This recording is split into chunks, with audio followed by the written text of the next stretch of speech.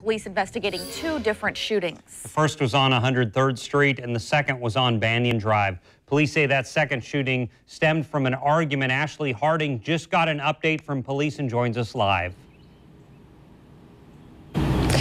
Yes, Scott, good morning. Police were called here about 5 o'clock this morning. I'm going to step out of the way and just go ahead and show you the scene. Still very active. They were called here about 5 o'clock on reporting of somebody having been shot in the hand. That person also suffered injuries to the face. You can just see multiple police vehicles here as well as detectives over there to the left. They were called to that house right over there. They say this began as an argument between acquaintances. The victim is a male in his 20s. They say that that argument escalated into violence violence, and somehow that man ended up being shot in the hand. He also had injuries to his face. His injuries are said to be non-life threatening. He was taken by somebody else to the hospital, and police tell us they were given a description of the person believed to be responsible. Well, they say a short time later, that person arrived back at the scene. And if we go ahead and turn our camera and show you, they say that person came back in that blue vehicle, which is behind the crime scene unit van behind that tape as well. So we've seen detectives uh, looking for evidence, taking pictures.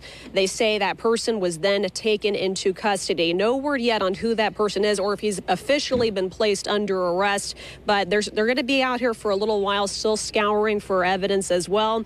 Again, that victim is said to be in non-life threatening condition condition. He was taken to the hospital by somebody he knows, and we're working to gather as many more details as we can. For now, we're live. Ashley Harding, Channel 4, the local station.